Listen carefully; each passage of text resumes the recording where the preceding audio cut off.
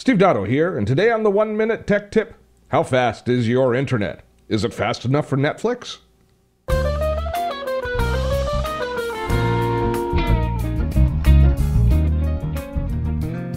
Your enjoyment of online services such as Netflix, YouTube, and Hulu relies largely on how robust your bandwidth is. Now, that is not the only factor, but it is one aspect that you can measure, and it's one factor that your internet service provider markets to you, usually telling you when you purchase your service what speeds you should expect.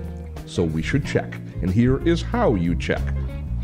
Now I've got three speed tests here ready to roll. You just ask them to measure your upload and download speeds. Download is going to determine how well your streaming services like Netflix and YouTube perform.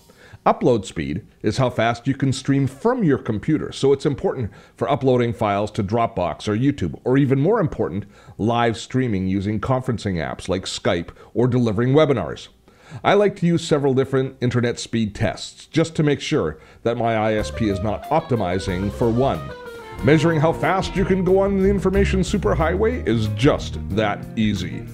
For more one minute tech tips, visit us at dottotech.com. Till next time, I'm Steve Dotto. Have fun storming a castle.